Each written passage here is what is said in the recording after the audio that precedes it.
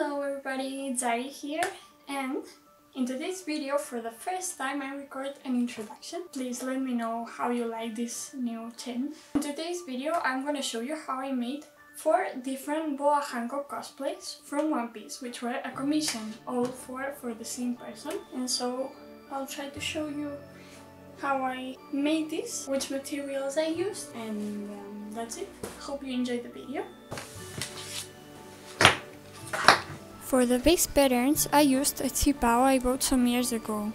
I copied the outline into the white fabrics. It's the same I'm gonna use for the yellow and pink dresses.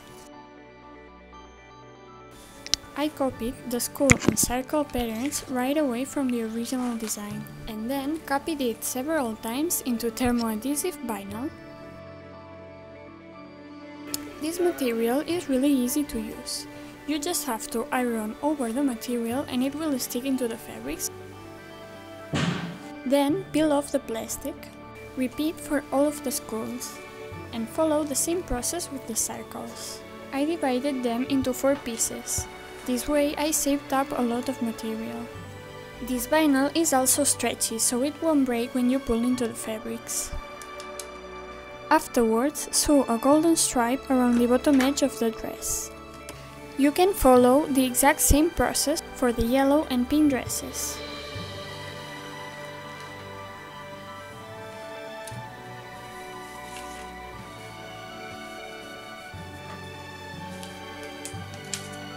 As you can see, it's very stretchy.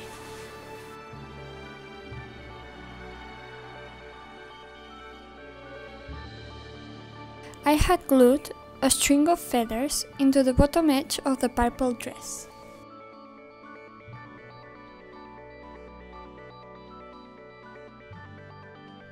Since the yellow dress is not stretchy, I had to cut an opening around the neck area and then hand sew a couple of buttons. This thing is called a pankou and honestly I don't know how to explain how I made, so just follow my steps. And then sew it into the upper flap. And sew a loop into the bottom one as well. Intermission because we're moving into the harder dress now. Cut out this shape out of vinyl a million times. And then a few more of this cloudy shape. Start ironing them into a rectangle of fabrics which will be the skirt.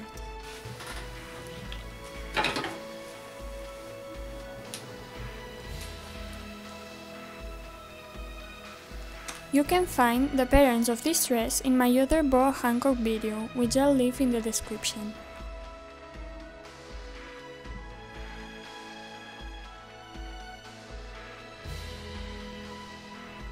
Cut out the circle out of two layers of PVA foam and cover it with golden fabrics. And voila! I didn't record anything else about this dress.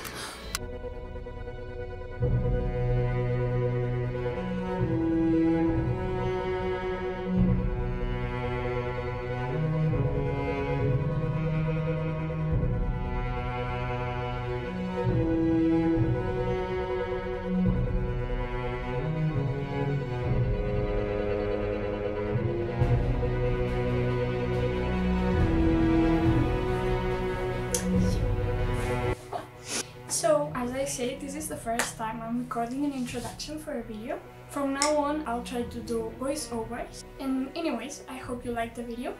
Let me know if you have any doubts and I'll try to answer anything as good as I can.